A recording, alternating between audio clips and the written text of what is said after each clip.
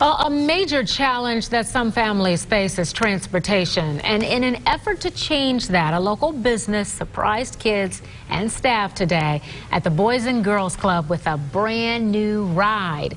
If you've ever been to Firestone, Bridgestone, Total Auto Care, you've likely been prompted at the checkout to donate to the Boys and Girls Club. And you may have wondered if the kids ever even see that money. Well, the answer is yes. They definitely saw it today. Children and staff were surprised with a brand new Nissan SUV. We're so excited. This just opens all kinds of doors and opportunities for us. We will be using it to go on field trips, but the primarily the thing I'm most excited about is we'll be able to take kids on uh, to college tours, job shadowing. So just this will open up just a a whole new opportunity for us to expose the kids. On there, look at that. That is awesome. This new SUV will carry seven people at once. Firestone Bridgestone is always partnering with nonprofits for kids, and you can make a donation at any one of their locations.